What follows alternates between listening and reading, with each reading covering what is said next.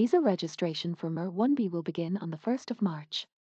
You just need to know the registrations for the most sought after H-1B visa would start on the 1st of March and remain open till the 18th of March 2022. The initial registration period for the fiscal year 2023 H-1B cap will run from 12 p.m. ET on March the 1st to 12 p.m. ET on the 18th of March. Prospective petitioners' representatives will be able to complete submit their registrations using our online registration system the U.S. Citizenship and Immigration Services said on Twitter. The initial registration period for the fiscal year 2023 H-1B cap will run from 12 p.m. ET on March the 1st to 12 p.m. ET on the 18th of March. Prospective petitioners' representatives will be able to complete submit their registrations using our online registration system. https colon double forward slash forward slash zero oshxgurt 0x. USCIS will assign a confirmation number to each registration submitted for the FY 2023 H1B cap. This number is used solely to track registrations.